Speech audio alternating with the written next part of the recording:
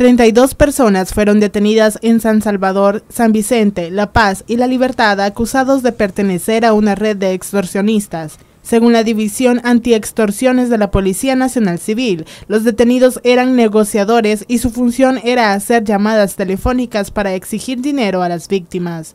En el operativo se incautó una subametralladora que se encontraba en manos de un menor de edad, un vehículo sedán color azul y 12 celulares. Con imágenes y reportes de Jonathan Funes, este es un informe de la prensagráfica.com.